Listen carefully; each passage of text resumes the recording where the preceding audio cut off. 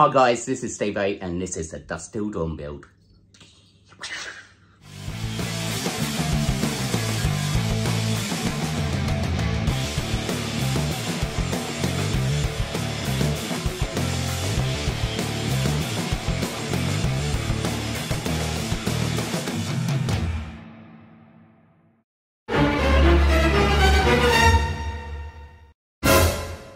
So guys, welcome back. Right, this build has been awesome fun. Probably one of the best fun I've done. Um, I wanted to do something a little bit cheeky, a little bit fun, um, and still have that Steve-O horror mix in there as well. Um, I'm a massive fan of the Dusk Till Dawn films. Um, well, film even, not the series, just the film.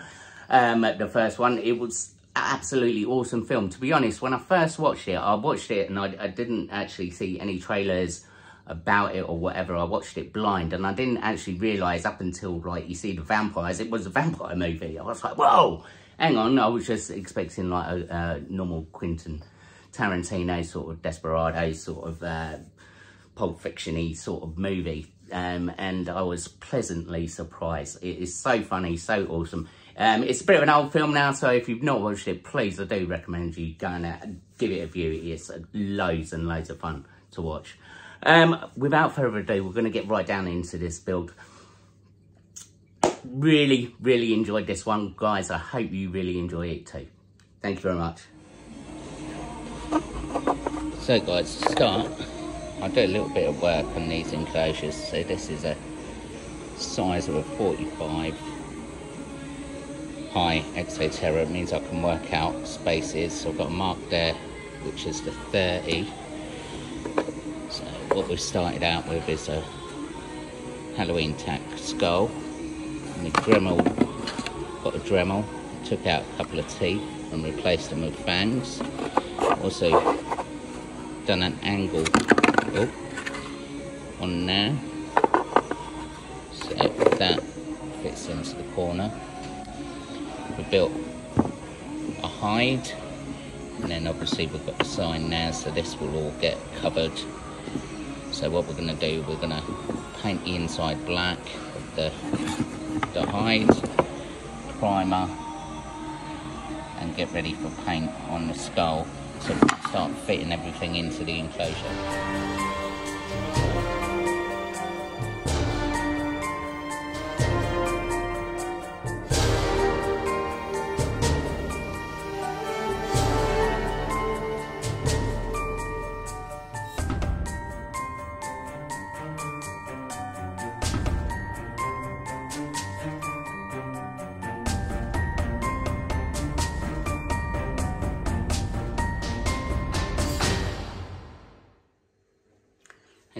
guys we've just covered up with mortar I wanted to do this bit first. As you can see from that last little bit we just built a frame up. And all the wood was sealed.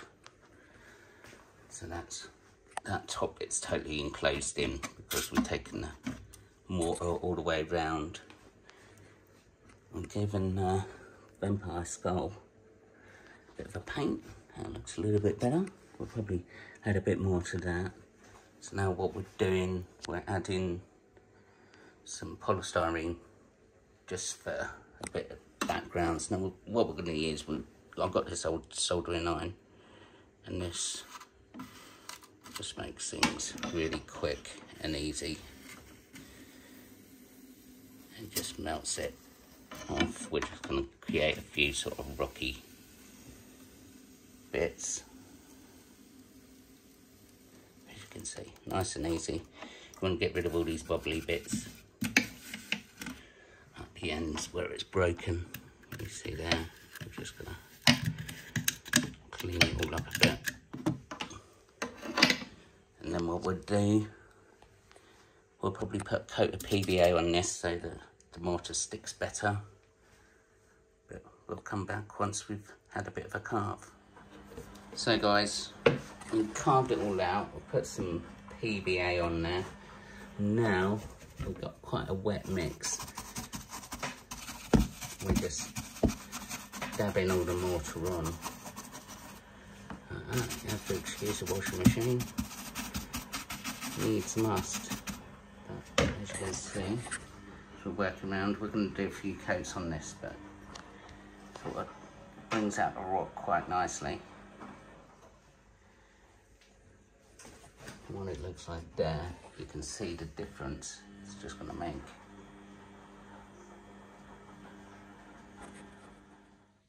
So guys, we've got the last bit centerpiece for the enclosure. Obviously Sex Machines, revolver. We've dry brushed it. Just by getting a kind of thick brush, hardly any paint on there, just try and give it that metallic effect. I'm gonna give it another quick coat over, but it's looking all right. Also got the sign. Now I'll give you a quick tip on how to age. Make this stuff look dirty. It's just basically dab little bits around and get your finger dot and dab. Just uh, dirties it up a bit. So what we're going to do, we're going to paint this lot, seal it, and then we can start actually putting the enclosure together. So we give it a bit of clean up, obviously wrap the sides. So now we're just gonna start adding the substrate, which is this stuff. It's excavated clay. So it's Zoo Med stuff, you just add water to it. It is good for moulding, but this is going to be a green bottle blue enclosure, so like we used on the Goonies. It should sort of match it to the sort of, I, I didn't want to go sort of cocoa fibre because the bar is set in the desert and I think the green bottle blue do fine because they like a nice arid environment and they don't burrow, so we're going to go with the excavator clay. So we've gone for a sort of dry mix. We've added a bit of sand to it as well. Obviously this takes a while to dry out so you don't want it too, too wet because it will take forever. So we're just going to start putting it in. We're going to move into the back of the hide first. We're going to mix up a load more.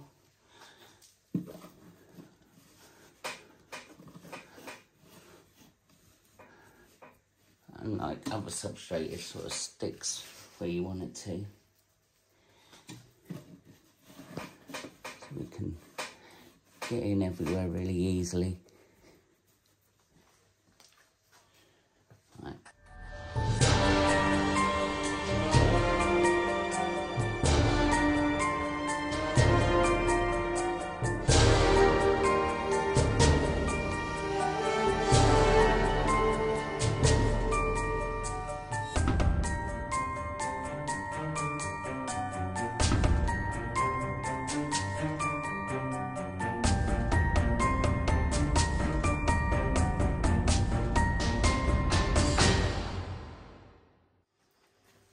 So we put pretty much the bits that we want to stick in down because this substrate will dry really hard so it'll keep bits and bobs in place.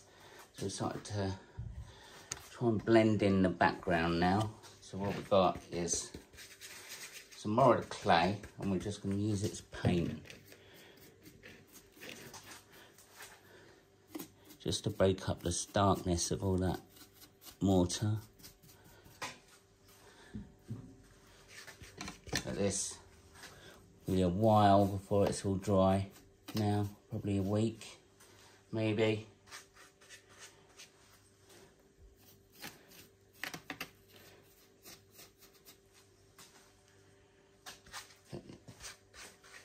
It's a really wet mix, we're just gonna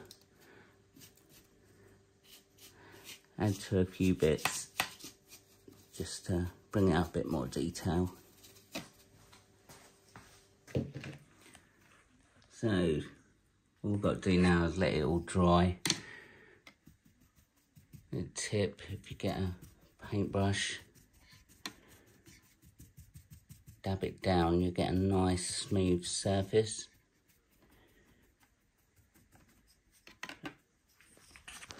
I'm happy with the look at the minute. We've still got a tiny bit of clay left, so what we're going to do, we're going to let it dry. This could take a while.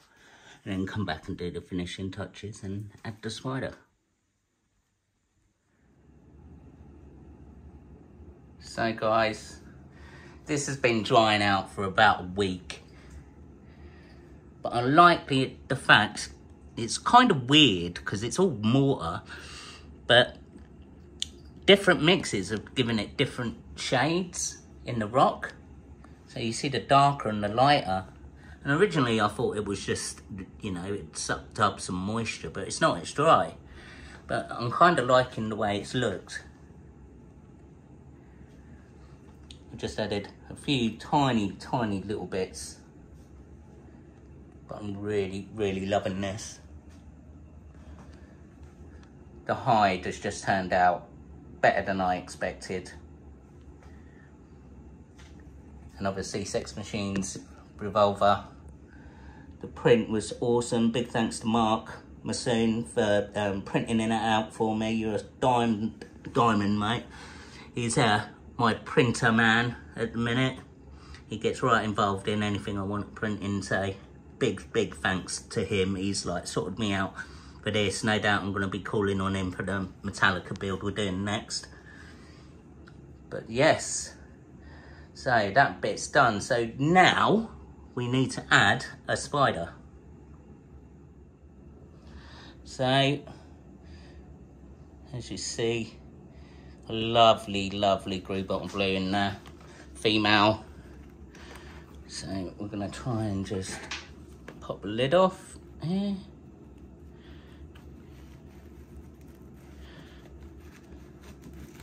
Actually, I need to use the other end of the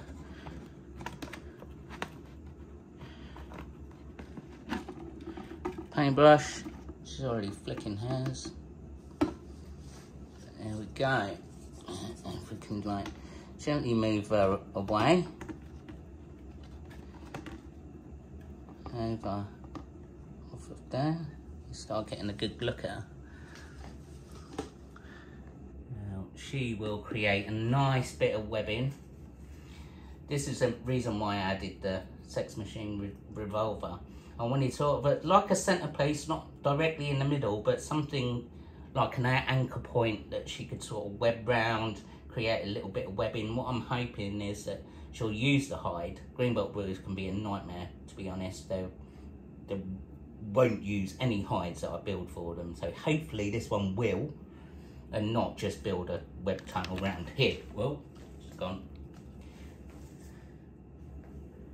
she just ran out, so I think we're gonna leave her in peace for that one, and we're gonna go and put her on that display wall.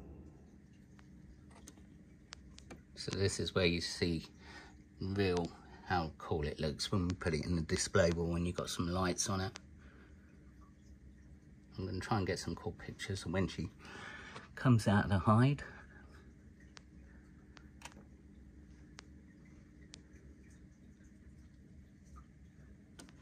But yeah, I'm really pleased with how that's turned out. So if you've seen this before, you know the final bit to finish off this enclosure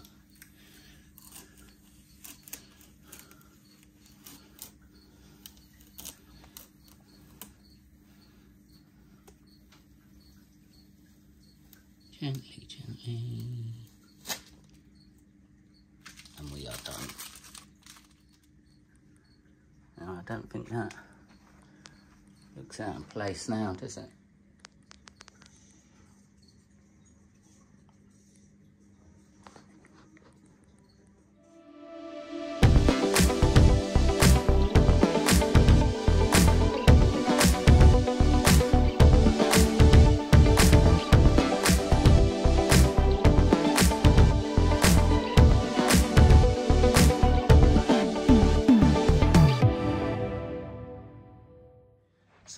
As you see, guys, we are right down there. And I think that looks, looks all right on the display wall, doesn't it? Um, next build, next build, you'll be eager enough to see if you follow me on uh, Facebook and stuff, you would see that I've just built that guitar bit, which actually is just behind me. So we're gonna do a Metallica enclosure. We obviously we just done the Iron Maiden one. Now this Metallica one, I am, um, I think I'm gonna raffle off, um, probably raffle off maybe when it's done, or it might be a centerpiece because uh, next year we're hoping to launch, trying to sell and create these enclosures as an actual sort of businessy thing. So the the um the big plan is to get our own stand at the BTS best get me bumming gear and build a load of enclosure, but I want a real standout centerpiece enclosure. And I think this idea that I've got in my head might be just what I need. So we might raffle it off to fund more enclosures to do more builds for the business, or we might just leave it as a standalone centerpiece for the show. Who knows? We'll, we'll have to see uh, well, what happens once we've built it. Anyway, guys, I really hope you enjoyed that build. Uh, I'll keep you up to date with all the webbings and etc. Um, you, you, can follow me also on Instagram, TikTok thing, and Facebook, and wherever else you want to follow me. I'll bung all the links down below. Um, big few thank yous to shout out to Made to Stick Decals. He do all my decals and stuff. Please contact him if you want fancy something like this in uh, your your living room or, on your tanks. He can do absolutely anything. Um, he did a ton, a ton of stuff for me for this build. Thank you very much, mate. You are a diamond. His link is down below. Please check him out. Also, Mark Musson, I mentioned him um, a bit uh, earlier in the vid, um, doing my 3D print as well. Awesome dude. I'm going to be pulling on you for the Metallica build as well. And everybody else who's just supported me along the way and cheered, spurs me on for every single one of these builds because every single like, comment on Facebook actually spurs me on to build something that little bit more better. So thank you very much, guys. Apart from that, guys, please leave a comment down below if you liked it. Thumbs it up, thumbs down. If you like it, if you don't like it, leave a comment if you don't like it. Leave a comment if you do like it. Whatever, I don't care. well, I do care, I do care, but apart from that, guys, please hit that subscribe button, hit that notification bell, notifies you of upcoming videos, doesn't cost you a penny, but it does mean a lot to me. I shall see you later.